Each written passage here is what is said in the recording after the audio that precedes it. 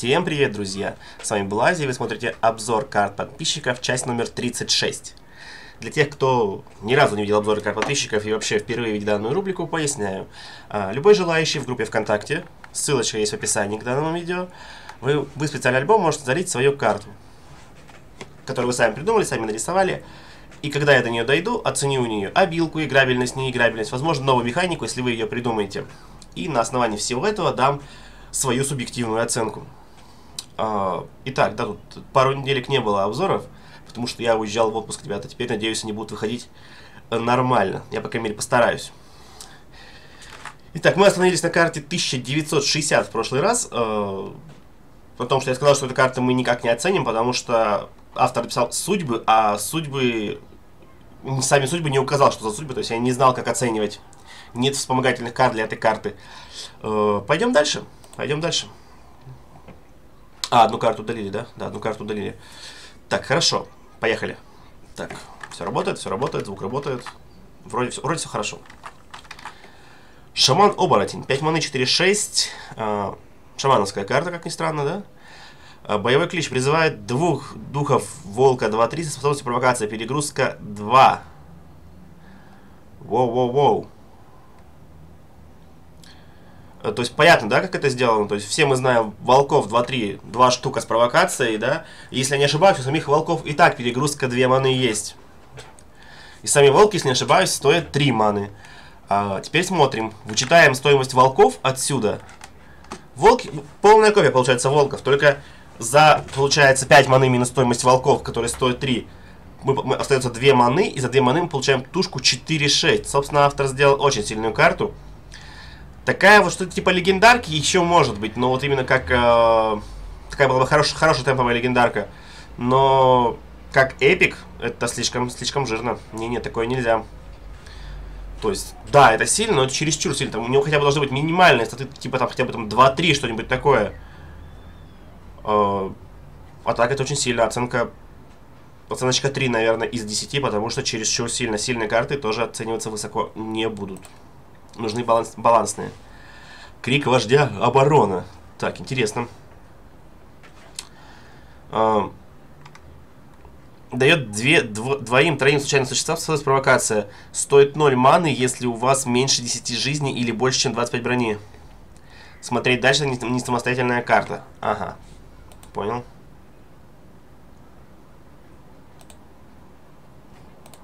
А, давайте пока мы ее оставим. Автор указал, что эта карта не самостоятельная, поэтому пока мы к ней попозже вернемся, хорошо?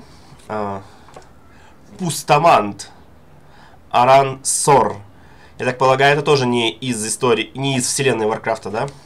А, 6 маны 4, 5, чернокниж, чернокнижника легендарка. Боевой клич предсмертный хрип. Вы кладете в руку круговерти пустоты. А, то есть, короче, мы получаем еще два ремувала себе на халяву, да? Ну, в принципе, в принципе, хорошая карта, потому что круго... Извините, круговерть э, не играет только потому, что она очень тяжела, и впихнуть ее в колоду э, за место чего-то либо не... не имеется возможно, потому что... Да, в Рено, в, я знаю, что в Рено влазит эта штучка круговерти, но играли бы на самом деле и двумя бы, не будь она такая тяжелая. Она просто очень тяжелая, вернут тебе две штуки в старте, и что ты будешь делать?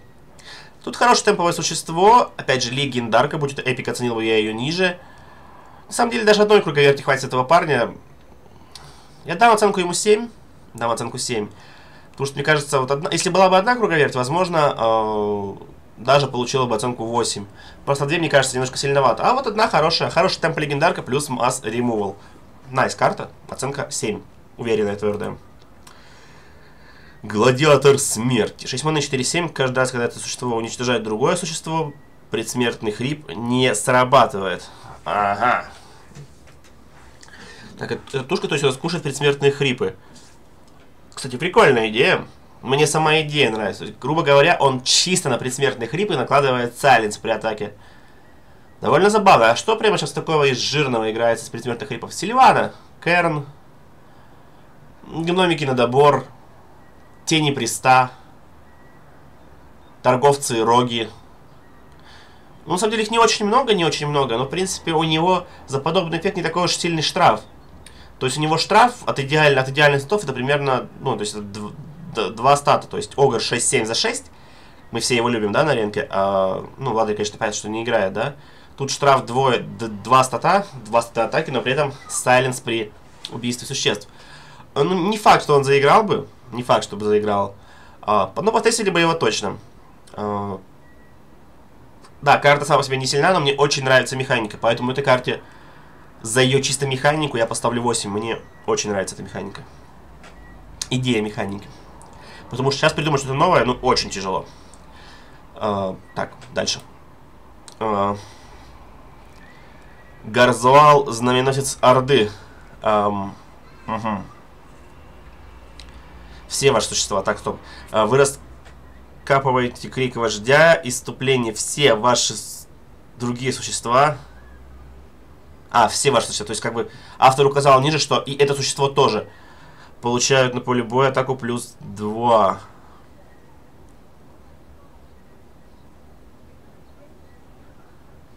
А, получается, да, то есть дальше нет... А, нет, крик вождя.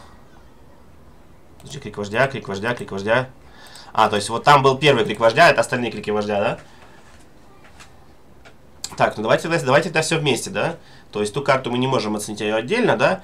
Так, давайте напомним. Та карта получает, э, дает, дает двум-трем существам провокацию, да? Больше ничего не делает. А, тут получается, он дает нам на выбор один из трех, э, из трех криков.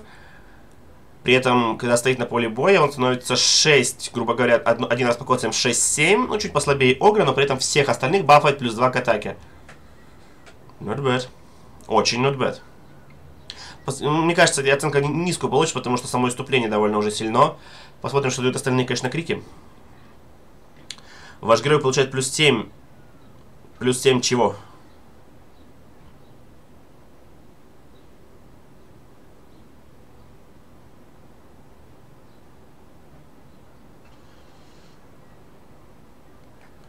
А, поправился. Плюс 2 брони, раскапывает, затем копирует это оружие, в том числе и святитель, как у Тириона.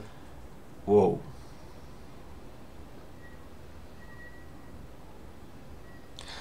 Так, то есть автор поправился, он, конечно, плюс 7, он сразу понял, что это жирный, и поправил на плюс 2. В комментариях сразу же написано плюс 2.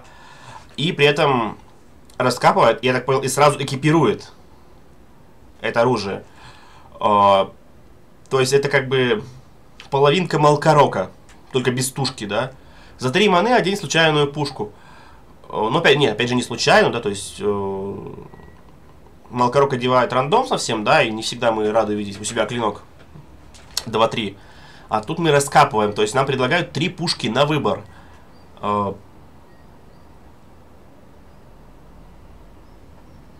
практически всегда будет что-нибудь жирное, что круче, чем эта карта.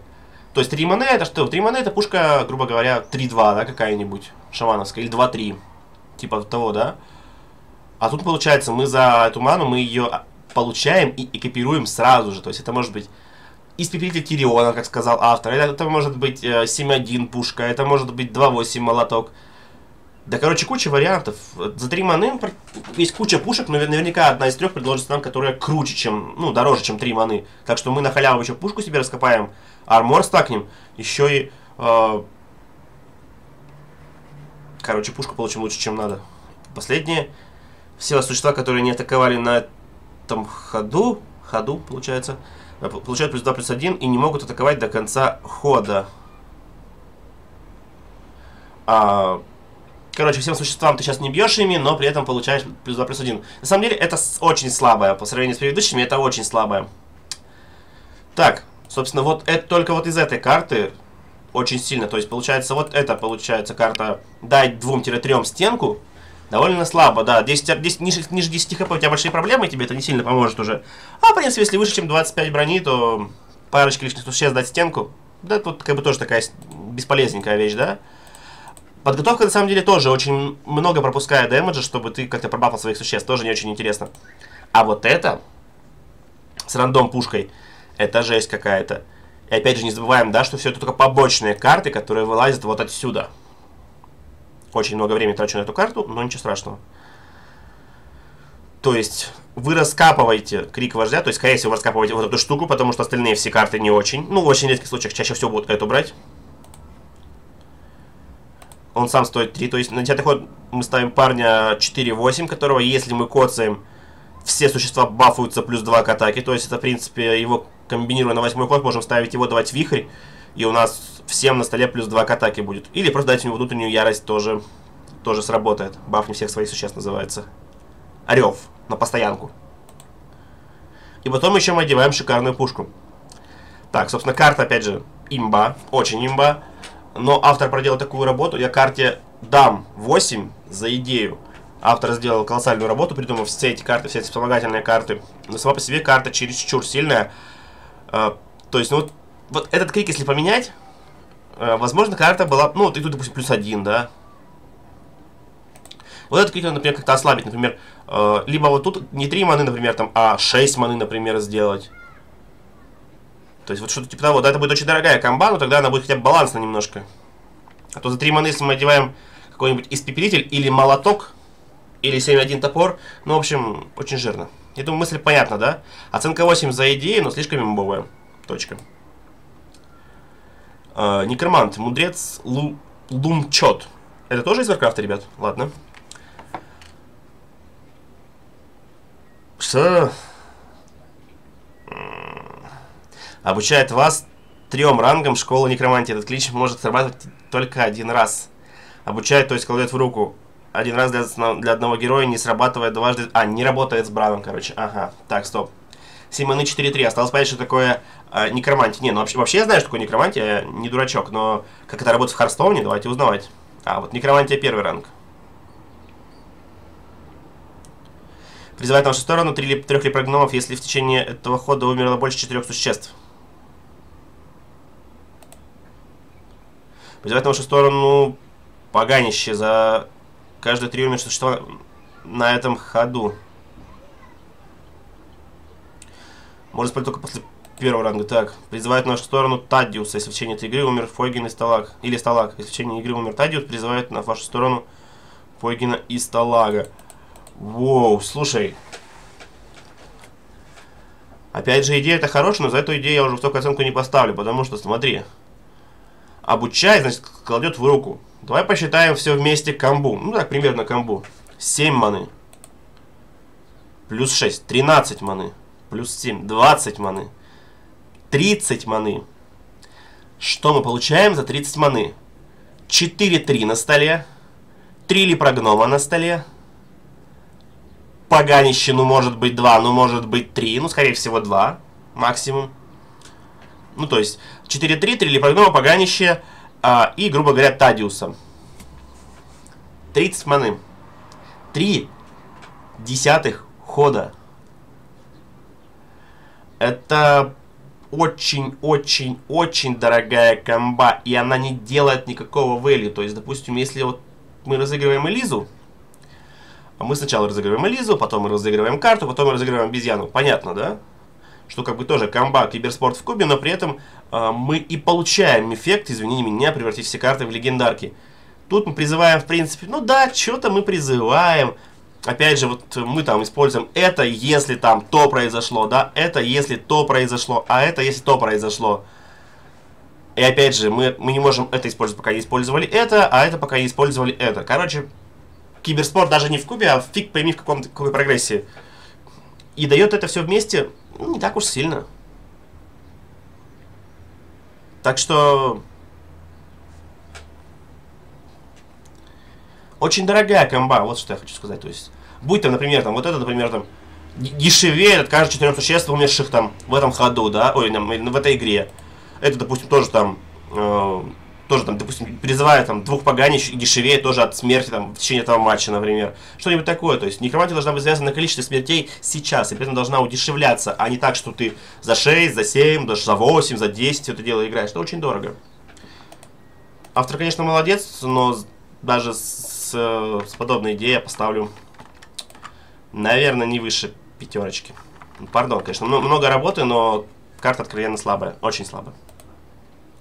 Идем дальше. 4 маны 2-2. Каждый раз, когда атакует ваш зверь, носит 2 урона атакованному персонажу.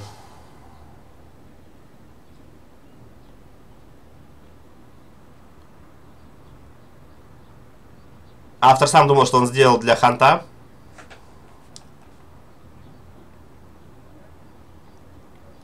Ладно. Э, так, то есть, э, каждый раз, когда бьет какой-то либо зверь, э, она стреляет на два в лицо. Давайте подумаем, много ли у друида бьет зверей нынче? Ну, ну друида на зверях мы так такового не видим вообще. То есть, если кто-то где-то еще использует, ну, это может быть какие-то ящеры 3-2, которые с предсмертным хрипом.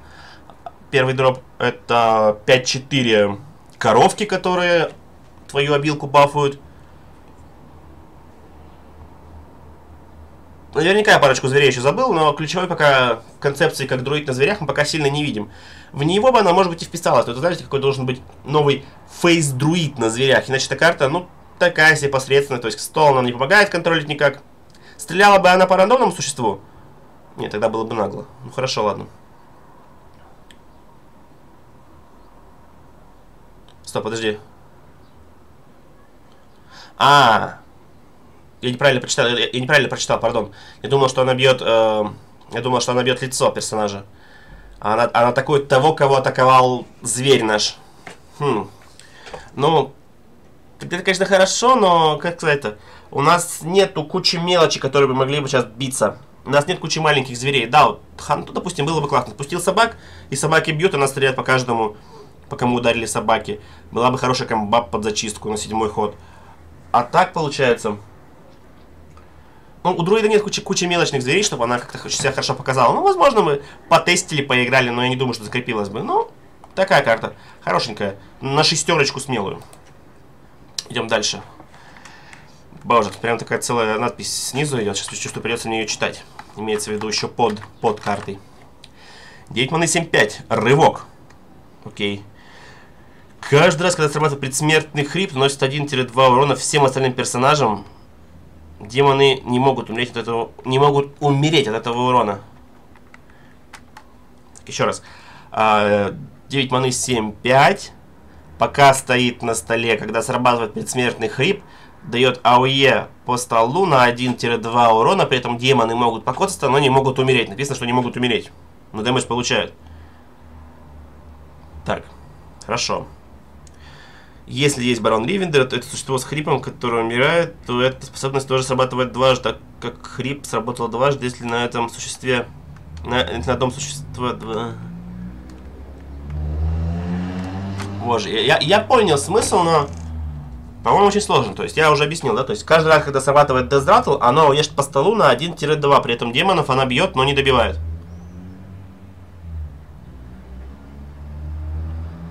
По-моему, да, какая-то немножко ерунда.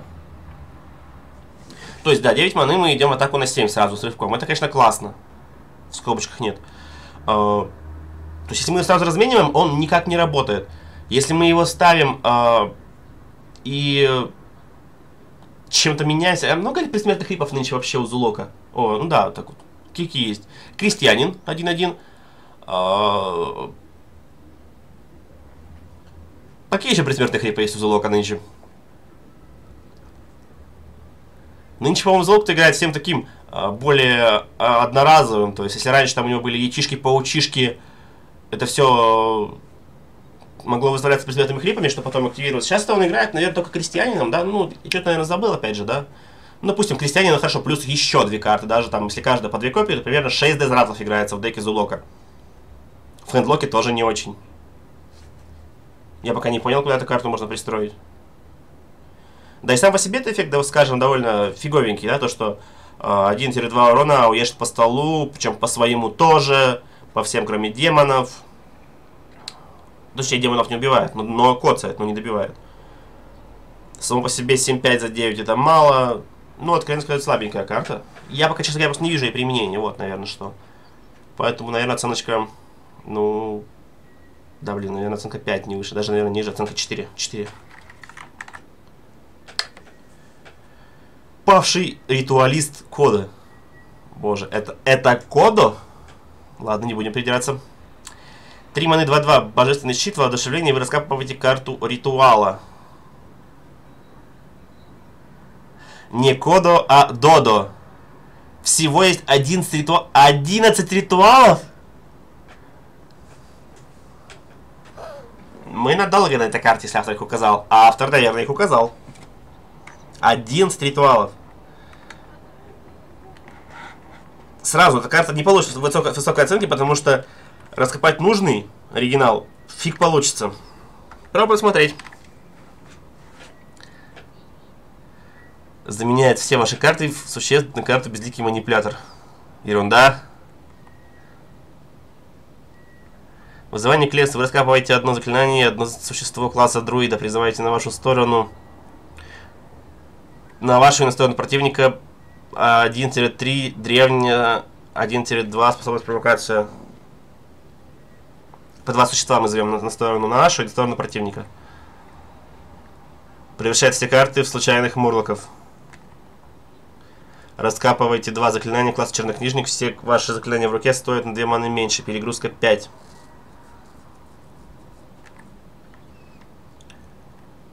Стоп, это уже не, это уже не ритуал, да? А, вот еще. Носит выбранный урон существу противника, урон равный суммарной атаке всех ваших существ, которые не атаковали на этом ходу. Если это не убьет существо, вы замешиваете его себе в колоду. Превращает выбранное ваше существо, которое не есть зверем, зверя в той же стоимости, он получает способность рывок. Вы в руку случайного древнего бога. Существо получает плюс 2, плюс 2. Если существо не, уби не убивает другое существо в течение вашего хода, то в конце хода атакует вас. Видите, если вы кладете в руку копию активного вашего оружия, но с характеристиками 1-1, или скапывайте случайное оружие. Вы кладете в руку все легендарные карты из Лиги Исследователей. Уничтожает ваше существо с наибольшей атакой, но не меньше четырех, и вы в руку два разных случайных ритуала. Офигеть просто!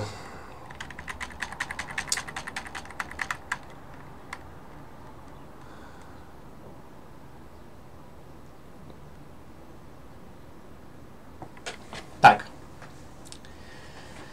Я сейчас не буду про каждый ритуал внимательно рассматривать и как-то к нему присматриваться. Но, давайте сразу откровенно, мы увидели ритуалы, которые шикарны, мы увидели ритуалы, которые прям пипец какие сильные, мы увидели ритуалы, которые бесполезны для некоторых классов. Какой мы копаем, не знаю. Скорее всего, пока существо живо, мы раскопаем, ну, один, ну, может быть, два ритуала максимум. Какие это будут нужные или не нужные ритуалы, пока сказать тяжело.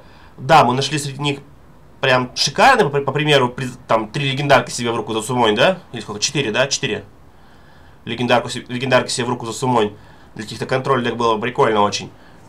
Э, до, допустим, какого-то сделай копию своего оружия, которое престу, например, ну, еще половине другого, других классов совсем не надо. То самое вот это, все ваши карты существ на карте безликие манипуляторы. А кого манипулировать-то тогда? То есть, опять же, зачем? Я понимаю, что это, получается, походу, какая-то фан-легендарочка, что ли, но тогда нужно было делать совсем все фан-карты, потому что некоторые фан-карты, а некоторые далеко не фан и весьма сильные и игрались бы. Но так как шанс 1 к 11 вытащить примерно нужный нам ритуал, ну, может быть, 2 к 11, все равно довольно мал. Считая того, что ритуалы могут повторяться. Поэтому, опять же, автор, молодец за работу. Ну, на этот раз молодцом, наверное, только я ограни ограничусь снова, потому что, ну, блин, серьезно. 11 ритуалов. Ты молодец, ты очень глобальную работу проделал, но прям вот киберспорт страшный. То есть некоторые ненавидят, когда у него у ханта призывается не тот, не тот питомец, а их всего три может призваться, да? То тут нужно вытащить будет нужный из 11. Вот я думаю, ты понял. Я не буду каждый ритуал смотреть в отдельности, потому что это все составляющая этой карты, и я просто дам оценочку, наверное. Опять же, за работу я поставлю 7. Выше, выше точно не дам. Ну и молодец за такую глобальную работу, конечно, молодец. Ребят, вы, если кто хочет, сами потом поставить оценки каждому ритуалу, если у вас есть желание. Я просто это очень много времени потрачу на это все, если начну все рассматривать. Поехали дальше. Лур Анор. Три маны 2-3, а легендарочка выберите эффект. Вы кладете в руку карту Звездопад или три карты Лунный Огонь. Эм... Малигас Друид тебе очень сильно благодарен. Карту Звездопад. Ну, как получается, мы играем существо с минус двумя статами, то есть идеал, идеал это статы 3-4 а, для третьего дропа, да, мы играем 2-3, чтобы послабее немножко, но мы замешиваем себе АОЕшку. Ну, неплохо. Ну, либо, опять же, да, похож немножко на Малигоса, да? Дракончик. Скорее всего, для него он был придуман, потому что под Малигосом, собственно, эти лунные огни будут бить э, 3, 1 плюс 6, 7 умножить на 3, 21 урона просто с этого дракончика, грубо говоря. Ну, плюс Малигоса. Плюс у тебя еще могут быть твои лун, два лунных огня, это вообще 7 на 5. 35 урона с лунных огней. Ну, такая забавная типа карта под Малигоса. Ну и няшная, няш, няшная аватарка. Ну, оценочку 6 получает. Озорная певица. Нет, я вижу, написано озерная. 5 маны. Каждый раз, когда существо восстанавливает полностью свое здоровье... Э, хотел, думаю, автор хотел написать полный запас здоровья, да? Другие ваши просто плюс 1, плюс 1. 4-4 написал автор. Так, то есть... Э, пам.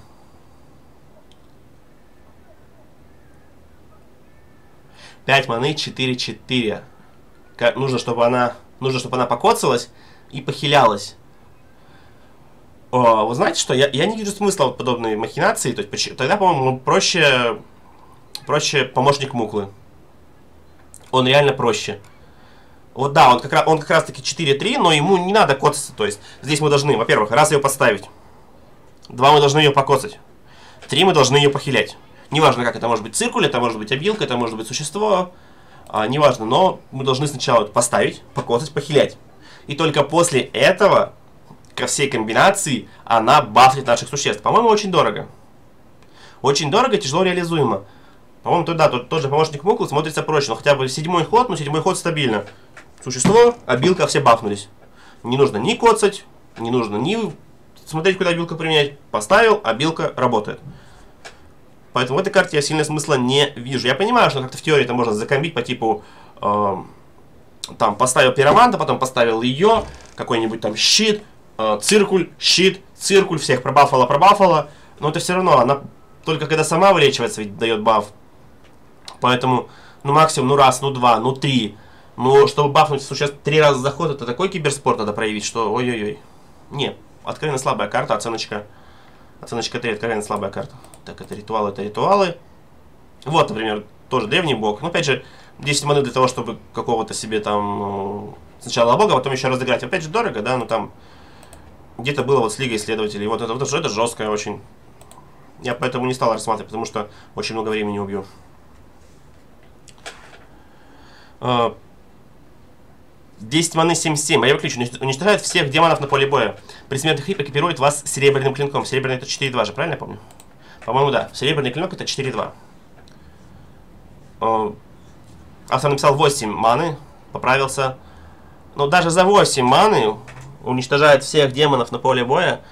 Ну, понятно, да, что демоны мы знаем только у одного класса, да, не считая девочки 1.5, которая демонов суммонит всем. но, но она только на арене гость, да, так что ради, ради чисто хорошей драки с Варлоком, вряд ли, вряд ли кто-то бы использовал эту карту, несмотря на халявное одевание после этого клинка 4-2, это не аргумент, далеко не аргумент. Я думаю, понятно, да, что карта, которая только против одного класса работает, не играет. Пример той же Кизаночки работала против трех классов, все равно не играла. Оценка 3, идем дальше. Техник-тестер. 4 маны, 3-4, кстати, очень шикарная аватарка, мне нравится. Каждый раз, когда на поле боя призывается механизм, кладет вам в руку запасную деталь. Кстати, что-то похожее я, по-моему, видел. Ну, давно уже, конечно, ладно, поэтому не будем. А, то есть 4 маны, 3-4 отстает на 2 стата от идеала, то есть от, от Йети, от 4-5 отстает на 2 стата, но при этом если комбить его дальше с механизмами, мы будем себе штамповать детальки. Ну, такая Средненькая карта, среднего value, скажем так. Довольно милашно. Не круто, но как бы и не слабо. Очень-очень-очень ситуативно. Опять же, нынче, как мы знаем, механизмы кончились почти все. Поэтому нынче не очень актуально, но ладно. Ну, я думаю, оценочка 6. Ситуативно, но 6. Мана сжигающее проклятие. А, сжигает всю ману обоим героям, оставляя только одну единицу маны. Навсегда. Дальше нужно опять ману с каждым ходом набирать. Автор в рифму начал тут писать, и поэтому буду так читать. Так, собственно, что я могу сказать? Мечта хендлока. Скорее всего. Ну да. То есть, э, мечта хендлока суицид для контроля. хендлок может себе отлично играть горного. То есть ты ставишь его, а потом играешь эту карту, и у вас снова вроде как по нулю, но карту, карту у него уже много, и он раз горного, два горного. О, довольно прикольно. Но я, правда, не вижу, как бы ее сильно использовали, кроме как в хендлоке. Чисто по фанчику сжечь э, ману. Но против контрольных так было бы обалденно. То есть против агрессии вы бы сами, скорее всего, страдали, потому что против агрессии она быстро выставляется, карты, карту у ее в руках довольно мало. И то, что вы сжигаете им ману, только лучше для них. А вот для контрольных дек, типа Вара, да, где-то у него в руках там сидит Рагнарос, какой-нибудь там Сильвана, Изера, Алекстраза. И у него как бы там 8 маны. И вот такие, хоп, одна мана. Сиди, чувак, еще 7 ходов, жди, пока разыграешь легендарку. Это, конечно, сильно, но, по-моему, более нигде. Поэтому давайте мы дадим оценочку, ну, наверное, по моностоимости мы дадим четверочку, выше не дам. А, кстати, хочу заметить, что у автора, это вот мы сейчас смотрим все одного автора, а у автора э, классно подобраны аватарки.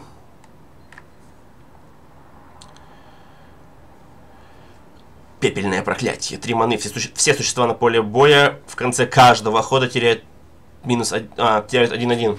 То есть это, так полагаю, вообще эффект на постоянку. Прям вообще-вообще навсегда. Хм. Хм. Так, ну из актуального. Тебе очень сильно благодарен Берсерк э, Вара. Опять же, теряют. Интересно, а теряют считается, что что наносится урон? Наверное, нет, потому что написано не так. То есть давайте по тексту судить. То есть если было, было бы написано, что получают один урон, это было бы одно. Да, тут именно теряют. То есть теряют не равно дэмэдж, просто теряют. То есть э, 1-3, служитель боли не бафается, берсерк не бафается. Ну, в общем, это никто не бафается, да, но при этом как бы и наши, наши существа тоже. Для какого-то Малигос, э, Малигос Варлока была бы очень прикольная карта. Вы как бы кидаете одну, кидаете другую, оппонент вроде как выставился, у него пф, пф, карты сдулись. Он снова выставился, у него пф, пф, карты сдулись. А, ну, на самом деле, забавно, забавно. Мне кажется, это немножко сильновато, но Скорее всего, играл бы только, наверное, в одном архетипе, но максимум в двух. Но идея, идея классная. Идея, опять же, классная. Оценочка 7. Проклятие темных сил. 4 маны. Все ваши существа получают плюс 3, плюс 3. Они умирают в конце вашего хода. Э, а-ля одноразовый блудласт на одну ману подешевле. Но плата за это их жизнь. Ну, как бы это чисто леталить. Ну, собственно, дали Bloodlust Зулоку. По-моему, страшный сон, да? Да. Зулок такой товарищ, который умеет наполнить на стол всяких мерзавцев, по принципу тентаклей, тентаклей нынче. И вот с подобной картой это будет очень страшная штука. То есть, если мы раньше друида, против друида мы могли бороться с тем, что он не сильно может наполнить стол, и у него нет сильных ремовалов, то у Варлока этой штуки есть. И не дать ему захватить стол, ну, Варлоку тяжеловато не дать захватить стол. Кучу мелочи, потом дать, сверх, дать сверху эту штуку, пройтись в лицо, даже если не, на, не насмерть, то очень на больно. Очень сильно, очень сильно. Вот именно даруя такую карту Варлоку, это становится очень-очень сильно. Я даже, ну, я, я думаю, 7 или 8. Наверное, 7. Оценка 7, конечно. Так, библиотекарь Дома. Дома проклятых. 7 маны, 9, 6. Боевой ключ. Вы кладете в руку три древних проклятия. Не те, что древние тени. Так, а что за древнее проклятие? А...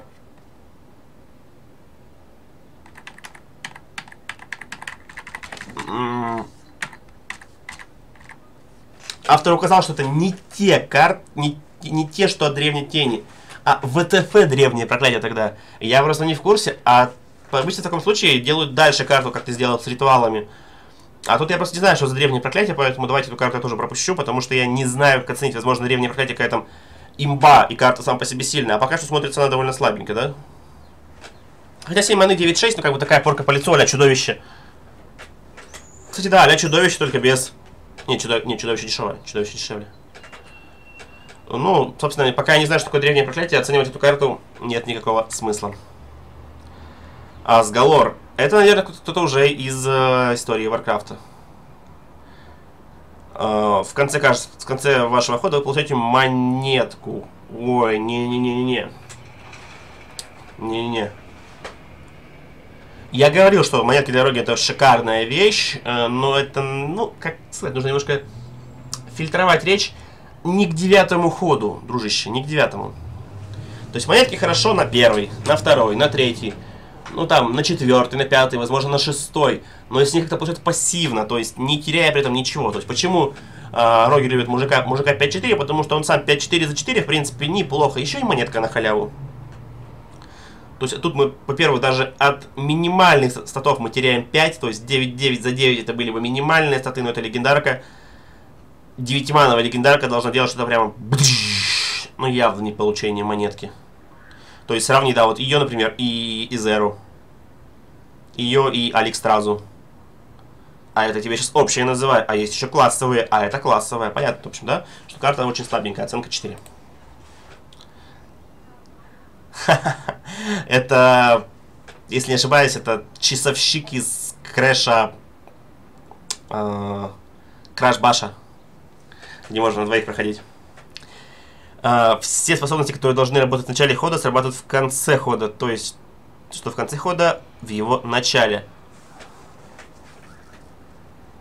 Какие эффекты есть, которые прям в конце вашего хода?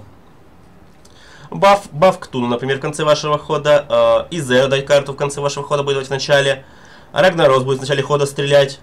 Барон Гиддон в начале будет хода, хода ауешить. Ну, вот, вот, кстати, Kill to Z не очень хороший вариант, потому что он будет в начале вашего хода воскрешать. М -м, какие еще карты?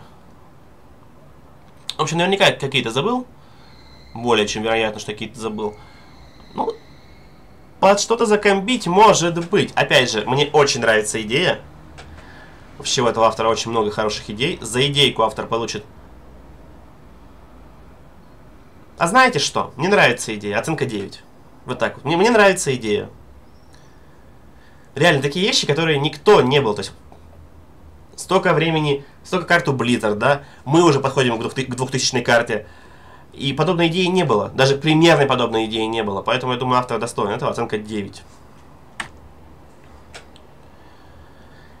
Э, все существа получают способность с со стопроцентной вероятностью, написал автор, со стопроцентной вероятностью атаковать не того персонажа.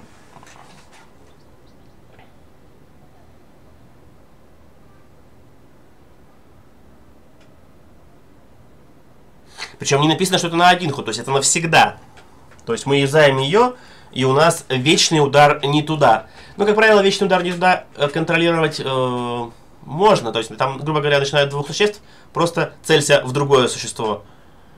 Ну, не, я пока не вижу, как бы ее применяли, допустим, да, как вариант обхода стенки, то есть, если, допустим, у вас какая-нибудь стенка, типа, да, даже нового, допустим, Сагота, да, легендарки Сагот, и он стоит на столе, вы даете эту штуку, и игнорируете Саготой, нажимаете на него в атаку, идете все в лицо сейчас.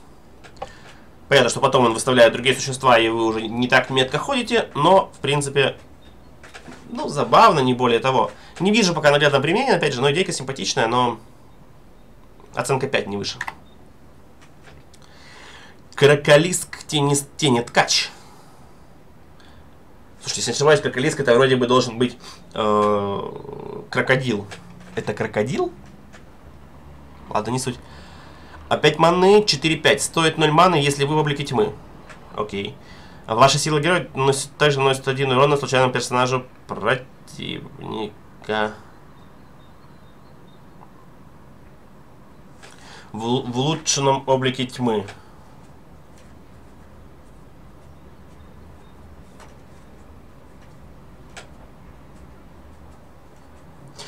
То есть в улучшенном облике тьмы сила героя наносит одну единицу урона случайно другому персонажу противника. То есть мы, если мы улучшаемся дважды, то есть автор просто подписал до нижней строчки, что как бы нужно в, это, это в улучшенном облике. То есть мы стреляем в улучшенном облике и так, на три стреляем, и еще один куда-нибудь. То есть как бы так, это на сдачу. То есть мы вот стреляем на три вот сюда и на один куда-нибудь туда еще. Э, ну, для Shadow Priest идейка забавная, конечно. 4-5 на халяву в Shadow Priest идея симпатичная. Ну, по поводу улучшенного облика, чаще всего оно не будет играться, потому что ну, два облика очень тяжело разыграть. Но сам по себе идея 4-5 для Shadow Priest, ну, не более того, чаще всего, скорее всего. То есть 0 маны 4-5. Ну, окей. Оценка 5. Эфириальская мощь. Эфи, эфи, эфириальская мощь. Если сказать, наверное, правильно, эфириальская. Ну ладно, неважно. 4 маны выбранное существо получает плюс 2 урона заклинания и предсмертный хрип. Остальные ваши существа получают плюс 1 урон заклинания. Воу. Так, 4 маны плюс 2 СПД. Ну, может быть. А по поводу предсмертного хрипа я не понимаю. То есть, у нас мы дали существу плюс 2 СПД. Чтобы стало эффективнее, нам нужно умереть так, чтобы помимо этого существа на столе стояло еще три существа. Чтобы сохранить текущий СПД. Uh, ну, я пока не вижу применения этой карты. То есть у мага, чтобы... Ну, в теории, конечно, можно придумать как-то, чтобы там мы что-то поставили, что-то бафнули, это что-то выжило. Мы заплатили стол, сходили в атаку, все у нас... Все с СПД. И мы такие, ха-ха! HR стрелы на 800. Ну, конечно, забавно, но пока реального применения этой карты никто тебе толком не позволит ее сделать. Поэтому, ну, такое. Мне что-то она не очень нравится. Оценочка 4. Призыв Архидемона. Uh, уничтожает выбранного вашего демона, призывая случайного демона, который стоит на 3 маны дороже. Вы сбрасываете случайную карту с колоды. А, Так, давайте подумаем, давайте подумаем, давайте подумаем. Вы жертвуете демоном со стола сейчас. Ну, допустим, хорошо, жертвуете демоном со стола. И получаете демона на 3 маны дороже. Плата за это 4 маны и э, карта с колоды. Напоминает, знаете, что напоминает? Напоминает портал. Ну, примерно. То есть, получается, мы там тоже жертвуем картой а портал и получаем что-то дешевле. Ну, это как бы тоже вклад в будущее. Допустим, третий ход мы ставим какого-нибудь э, главаря банды балбесов, да? И на четвертый ход после атаки главарем мы получаем себе э, шесто, шестого дропа демона. Это, по-моему... Так, нет, мужик, мужик 6-8 это, по-моему, седьмой дроп. Шестой дроп демон, шестой дроп демон. Я вот не помню этот. Который с воодушевления убивает свое существо и существо оппонента. Это, по-моему... Ну, неважно, в общем, шестой дроп демон. Я думаю, идея понятна, да? То есть, а демоны подороже нынче играются? Давайте подумаем. Ну, 5-7, да, мужик играется. Но он сбрасывает карты, и нынче без сброса, кар... без сброса карт мы его никак не сыграем. На коня можно применить конь 4 маны, мы получим седьмой дроп с него, при этом конь еще выживет. Ну, я думаю, потестили бы ее явно. Опять же, дейка очень симпатичная, оценочка 8. Ульрик Мстящий. Каждый раз, когда, когда герой или ваше существо получает повреждения, наносит три повреждения случайному персонажу противника. Что? Когда получает дэмэдж либо герой, либо существо, а уешит, ой, не, а, стреляет куда-то либо на 3. А, я понимаю, по, по, по какому принципу сделана эта карта. Карта сделана по принципу а, двух сестриц. Фиолы погибели света и погибели тьмы. А, но, блин, по-моему, это что перебор, да? То есть поставь, грубо говоря, там 5, 6, 5 существ. Паладин там может поставить 5 существ. Изи поставить 5 существ. Ну, не изи, но может. После чего поставь э, Следующий ход этого парня. Идешь в атаку паладинчиком. Паладинчиком умер. Умер равно нанесен получен урон. Атаке на 3. Следующий пошел, умер, нанес урон атаке на 3. Какая-нибудь комбас, типа с новым призывом в бой, это 5 паладинчиков. Следующий ход ставим Ульрика, э, паладинами в атаку, пироманта и какой-нибудь... Да любой спел. Паладинчиков все уешутся и просто Ульрик, как из пулемета, сидит по 3 урона миллион раз. Нет, по-моему, это перебор. Надо хотя бы тут либо один урона, либо может быть два, но дороже ману, а то он идеальная тройка с имбовищим эффектом. Тут надо что-то делать. Причем не даже когда умирает существо, то есть надо вроде как мстить нужно за смерть, да, а просто когда коцается. В общем, понятно, что карта чересчур сильно. Очень сильно. А, по моностоимости оценка 3. Демонический конь. Две маны 2-3 в начале вашего хода. Кстати, автор почему-то использует уже из, из, из, из имеющиеся арты. Ну ладно. Вашего хода носит два повреждения случайного персонажа противника. А, ну, это, собственно, разрушитель, который сейчас имеется в игре. Только разрушитель, он немножко проигрывает по статам, то есть он за 3 маны 1-4, то есть он отстает от идеальных статов на 2. А это за 2 маны 2-3 что, в принципе, статы для двойки хорошие. При этом с той же копией обилки. Я понимаю, что он классовая карта, но, по-моему, это немножко жирненько. То есть он и не теряет способ... Ой, не теряет э, статов, и хорошая обилка. Причем реально очень хорошая. То есть даже будь просто выстрел на 2, то есть это просто был прокачанный, прокачанный жонглер, да? А этот в начале каждого хода бьет, ну, либо персонажу, либо лицу. По-моему, очень сильно. Нет, очень сильно, оценочка тоже 3. Ну, 4 хорошо этой карте. Так. Э,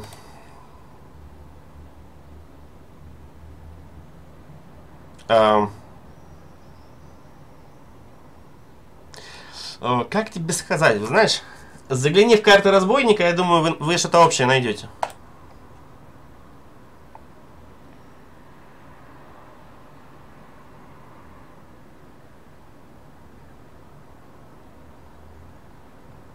За 5 маны 3 карты и так, в принципе, хороший добор. А тут еще и на одну ману меньше за каждую сыгранную карту вами в этом ходу.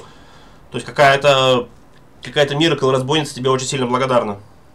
Там монетка, backstab, а, подготовка, что-то там еще, что-то еще, что-то еще, что-то еще. За 0 маны. Хоп, след адреналина. Поехали по новой. Ать, ать, ать. Оценка 4.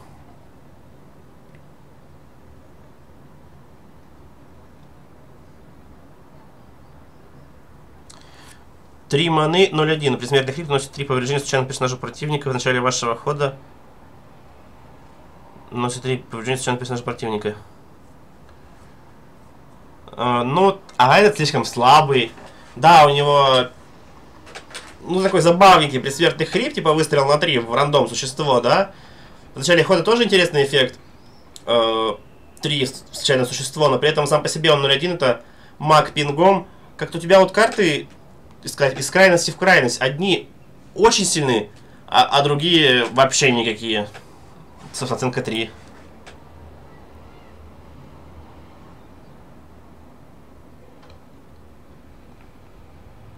А, предложение новой механики, вдохновение. Правда, в идеале, в идеале сначала нужно описывать эту карту. Ну, либо это единственная карта, либо вначале нужно описывать как-то, что есть вдохновение. Я вижу, что написал, но вообще, как бы, как бы отдельной, отдельной картой лучше бы такое делать. Ну ладно. 3 маны 2-4, вдохновение плюс 1. Это урон от способностей ваших... То есть только урон, правильно понимаю? То есть от хил при стане увеличивается. Опять же, то есть Варлок, э, думаю, тебе не очень благодарен. Потому что у него дэмэдж, кто не в курсе, увеличивается. То есть если Варлок получает падшего героя, который маговский, пин, который увеличивает на плюс 1, то Варлок начинает тоже получать по 3 дэмэджа за, взять, за взятие карты, если он откуда-то получает его. То есть для мага, для ханта... А для кого еще? А, ну окей, для друида. Разбойника, не знаю, будет ли пушку лучше надевать. Варлок не очень рад, паладин непонятно. Э, воин непонятно, потому что это не урон, это броня. Прист не получает, скорее всего. Ну, такая, в принципе, забавно. 3 маны, 2-4, не самые плохие статы. Ну, за, за, за идейку неплохо 7.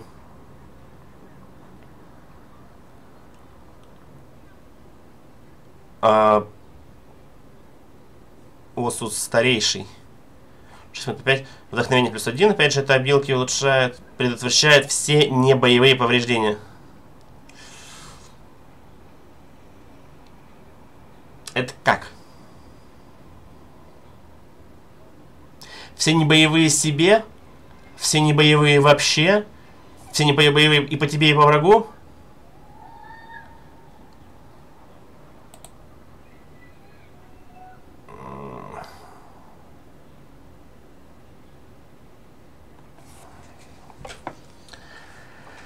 Четыре маны, 4-4, серия приемов, все другие существа после плюс 2, плюс 2. Не может быть цель заклинания и сила героя.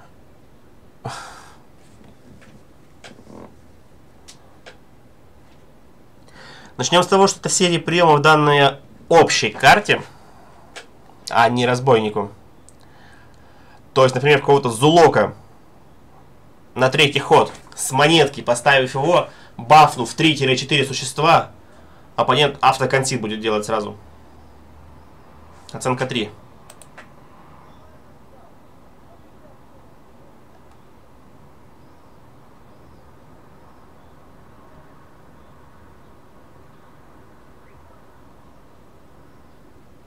А что поменялось?